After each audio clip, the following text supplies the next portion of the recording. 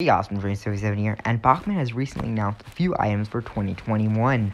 So basically, the items are HSK Orion, yes, um, finally, yeah, HSK Orion to go Daisy. Daisy hopefully will be coming out soon. They haven't like made the prototypes for anything. Toby's Museum Coach, Toby's Museum Brake Coach, mm, Yellow Rheneas. If you don't know who what that is, that's basically uh, the end credits of the mystery. Blue brake, red brake fan for Narrow Gauge, red brake fan, uh, blue brake fan for Narrow Gauge, and than the blue and red box man. So yeah, those kind of are strange. If you don't know what the Toby's Museum coach is, it was actually only the brake coach, and that was only seen in like one one off like season ten episode, I think. Um, yeah.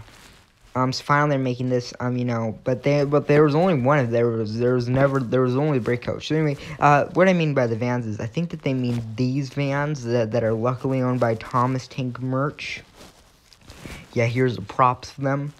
But yeah, you can see however I think that I'm pretty sure they already made those in 2015. This is just a picture of the one that resembles Cora. Because you know, like they made like one of those exact same livery as Cora. If you don't know what Cora is, she's the guardsman or whatever she is. I don't remember. She came from the Mid-City Railway or, or something like that.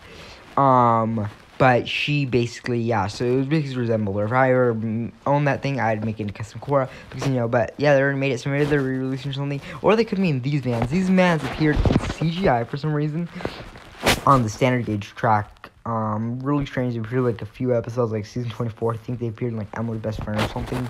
They also appeared in this episode. You see, you can you can see them here. Uh, they I think this is the only appearance of those these types of vans. Um, don't know. Then the brake vans. They could mean like Cora. I think was a brake van to be honest, but like this is what I think that they mean by the brake vans right here. Um, don't know really what they're making, what Bachmann's thinking. To be honest, like um, it's kind of confusing. But to be honest, HSK Ryan, yay. Um, I don't really, I'm not, I'm not really into the HSK scale range.